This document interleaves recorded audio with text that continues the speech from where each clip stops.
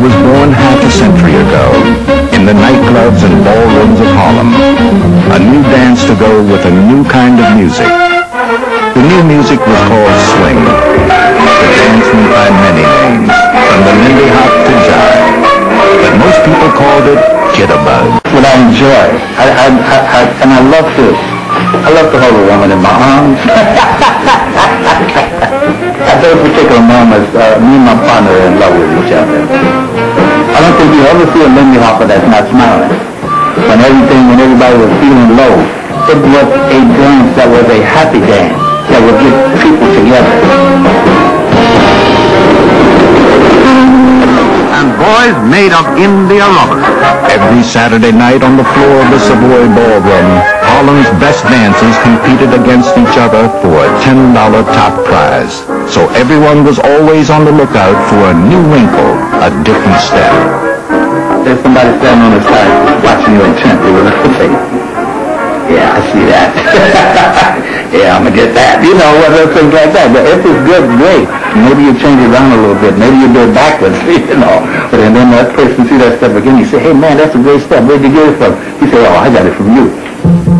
What they were on to was a dance that would soon move beyond the confines of Harlem and begin to excite audiences and dancers in white America. The vehicle for Jitterbug's burst of popularity in the late 1930s was a group called Whitey's Lindy Hoppers, carefully assembled from Harlem ballrooms by a street fighter turned dancer named Herbert White. Whitey.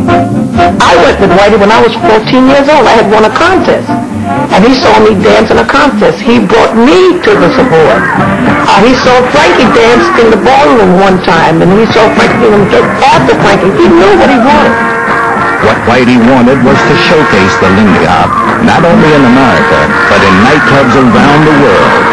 For that, he needed dancers like Frank and Norma, and he got them. We just had a charm life.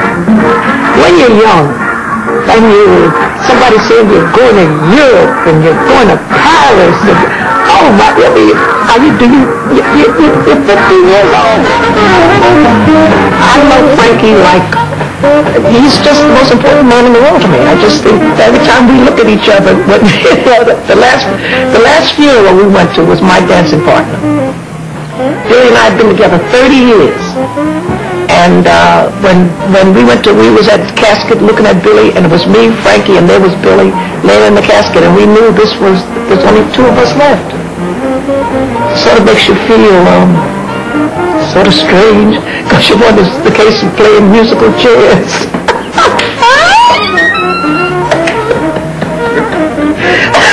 like you say, I say, hey, how do you feel lately, kid?